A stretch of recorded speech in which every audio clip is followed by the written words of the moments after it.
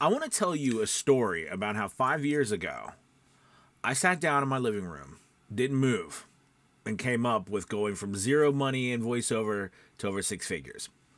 So I started my voiceover business about six years ago, and for the first nine, ten months, I was kind of piddling around, doing whatever I could to get a job here or there. Just basically, you know, auditioning on ACX. And uh, come summer of 2018, my family and I we went to Alaska for vacation. My mother lives out there. And you know, I had opened uh, an account on Fiverr and I had gotten a job here or there but uh, wasn't getting a lot of work. So I put my account on pause and left for Alaska with my family for about 2 weeks. It was a great trip, but when we got back, I turned all my stuff back on and I was making zero dollars, nothing. I made no money. I couldn't get any work. Well, I had been looking at this business as a way to, you know, change my life and get out of something that I didn't want to do anymore. So I was very frustrated about not making money. I decided to take my laptop, lay down in the middle of my floor in my living room, and I told myself I was not going to move literally until I figured out how to get voiceover work. And this is what I did. I started by going to Fiverr and making test gigs. Basically, what I did was I took keywords that people were searching for and I created gigs around them. And I tried to see who was clicking on them. Then I changed my thumbnails and I was trying to see who was clicking on them. Uh, and that summer, I realized a really important thing that you got to get people to click on your work in order for them to purchase from you okay? From keywords to your thumbnails to your offerings, everything in there is vital to your success. Filling everything out was so important. And then I realized the amount of gigs I had up was also really important. I had to put up those gigs. Now I'm thinking to myself, okay, maybe there's something to this okay? I figuring out that i need to have stuff that's clickable. I need to have a picture that people are going to click on. Not just any picture but a picture people are going to click on. I need to make sure that i have all the information put up on these gigs meaning like they're filled out to their fullest. Everything that the platform fiverr says i can fill out i'm going to fill out. The, the third thing is is to make sure that every piece of audio and portfolio work that I can put up there, whether I've done it or not. I create it and I've put it up there. Also, that I need to make sure that all of the gigs that they allow you to put up, I put up. Okay, so I had these seven gigs up. So all of a sudden, I started getting work. People were clicking on my stuff. People were messaging me. People were asking me to do work. I, am thinking, oh my gosh, this is great. Wait a minute. Maybe there's something more to this. Okay. So then I'm like, okay, well, if one thing works here, maybe it's going to work somewhere else. So then I go to Upwork. Then I go back to ACX. Then I go to People Per Hour. Then I go to um, Voquent. Then I go to uh, uh, Voices.com and Voice123 and Bunny Studios and all these different places, all these platforms. And I realized the same formula worked for all these places. But here's the kicker the secret sauce to all of this and how I blew this up was putting them everywhere. So that summer, I did nothing but put myself every possible place I could go, put up as many different gigs, projects, offerings, whatever I could put up everywhere I could put up as much as the platform would let me to the point where they would say, hey, please don't put anything up more. We know you exist. Please stop. You don't need to put anything more up on our website. Okay, that was key. Putting up yourself, your pictures, your profile, your audio everywhere and as much as you can. And if you don't have it made, you have to make it. You've got to make more demos. You've got to make more portfolio work. You've got to make it first. You got to you got to create it if you haven't been hired to do it first. It's just like anything else. You got to create a product before people are going to buy it. So you've got to create this and you got to put it up everywhere. All right? At least 10 five, like 10 platforms you need to have those platforms filled out to their fullest until they allow you not to put anything else. And if they keep letting you put it up, you keep putting them up. Okay? I did that. That was the first thing. Next thing I realized was okay, I've got this stuff up. This is like a passive approach. People are, you know, messaging me, messaging me, but I want to I want to even dial it up even more. So then what I started doing was auditioning.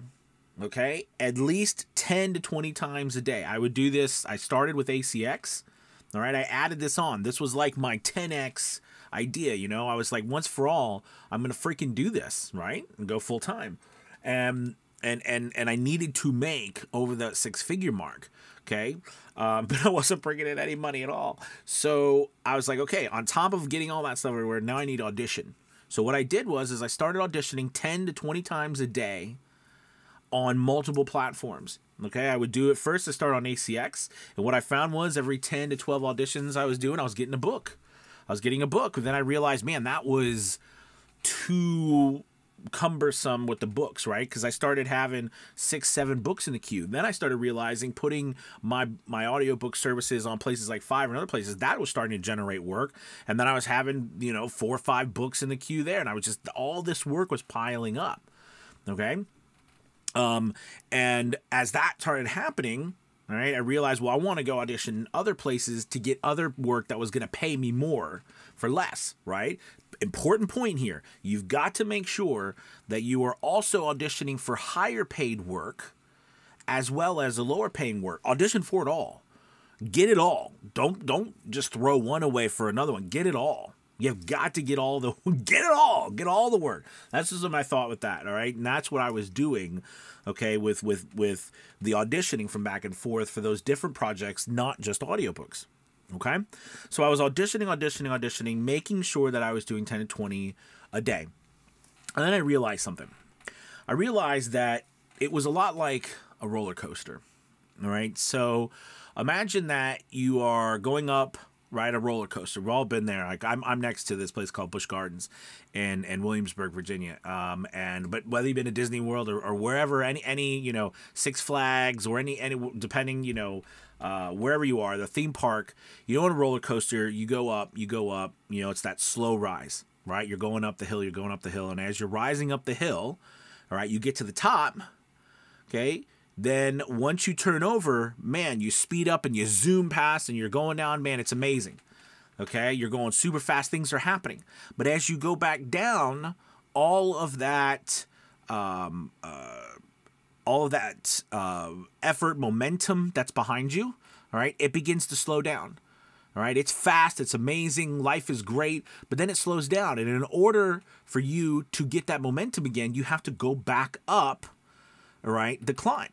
Now, what I realized was was that in order to get this income and keep it, right, and continue to grow it, right, over a sustained time, over the year, right, I needed to find a way to get out of the roller coaster, right? Get out of this hard, slow climb and then super fast and then nothing. And then you got to go back up to slow climb, super fast and then nothing, slow climb, right? I, I, so what I realized was, is that I needed to split my time effectively through the auditioning and the work phase so that I made sure that no matter how much work I had or what was on my plate, there was a set of things that I did every single day, no matter what. And that included, I made sure that I had those auditions every day, that I sent those proposals every day, no matter how many books I had in the queue, how many commercials I had in the queue, how much work was coming in. I had to maintain that set of level of auditioning and communication with clients so important. And what that did was it changed my whole business because then there was no longer was I on this roller coaster, but I maintained this level. And in fact, it kept rising. All right. And you know that's something. Then you, but then you'll get to a point where you realize there's too much work for you. It's a good problem to have. All right. But here's the thing after all of that, it is quite a climb and a grind. So I was doing all this. I was, uh, the money was coming. I'm like, oh my God, my life ch- changed literally in one summer forever. The next summer, I was able to quit my job and go full time. I was making more money than I ever made in my entire life. And I realized something, and that's the last part of this that in order to maintain all of this, all right, in order to maintain all of this, I had to make sure that I was staying in constant contact with the clients that I was getting, with the people who were interested in working with me or who had worked with me. It was funny, you know, from that summer where I was on the floor, you know, and I was so determined to get business, right?